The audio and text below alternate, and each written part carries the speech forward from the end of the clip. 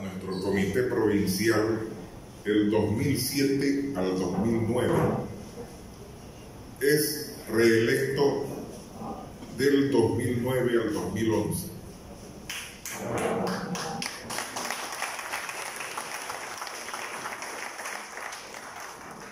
Vuelve a nuestro comité provincial a pedido de nosotros los provincianos el 2015 es electo de nuevo al 2017 y es reelecto del 2017 al 2019.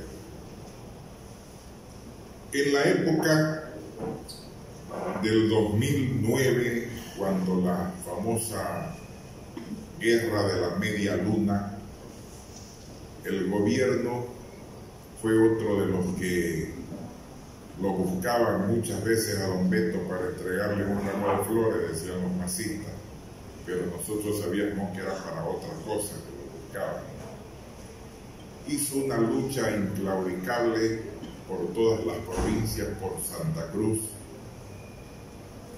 y así siguió con la lucha por todo el departamento y la lucha por las provincias, porque don Beto el amor que le tiene a las provincias es, es muy grande. Siempre luchando como se podía, porque como ustedes saben, nuestro Comité Cívico Provincial es muy poca o nada la ayuda que nos llega. Por eso es que nosotros en provincia tenemos un dicho que nos enseñó él, de que más plata tiene el chavo del 8 que el comité provincial, porque el chavo del 8 tiene duril donde dormir nosotros no tenemos ni eso. En la lucha por la tierra fue los primeros en salir cuando el gobierno empezó a meternos gente a abusar y atropellar de la tierra chiquitana. Con Beto Áñez, los chiquitanos estuvimos peleando a la par, pidiendo de que la tierra cumpla lo que dice la ley, que la tierra sea para los del lugar.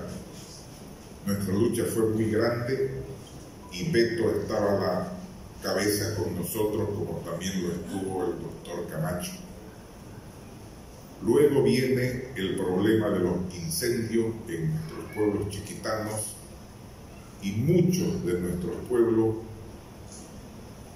necesitaban de la ayuda, la cual don Beto también andaba consiguiendo lo que podía para poder hacer llegar a las provincias. Estos últimos años hemos tenido muchos problemas, así como el bloqueo de los 21 días en los cuales tuvimos todos los presidentes, todos los cívicos en la provincia y toda la gente de nuestro pueblo que apoyaron porque esto estaba manejado por medio de los cívicos. Y creo que todo el pueblo cruceño estuvo a la par de los cívicos peleando por lo que nos correspondía, peleando por la democracia, por la libertad de Bolivia. Don Beto Áñez, desde este nuestro glorioso comité provincial, consiguió mucha ayuda para los pueblos, porque muchos de nuestros pueblos no había para, para el huiro, como decimos nosotros, en nuestra tierra no había para la comida. Don Petro como podía conseguía y ayudaba a las provincias que tenían menos. La lucha ha sido grande. Si tenemos que seguir enumerando las cosas que ha hecho Beto Áñez, creo que quedamos cortos, porque sí, ahora es reconocido ya que está como viceministro de Desarrollo Rural. Presidente Ronnie, por favor, le va a hacer la entrega del escudo que entregamos para los personajes que han trabajado mucho con nuestro pueblo.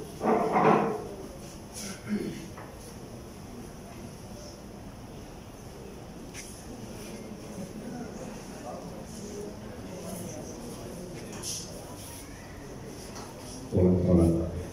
Bueno, para mí es un honor poder hacer entrega de este meritorio reconocimiento y creo que nos quedamos cortos.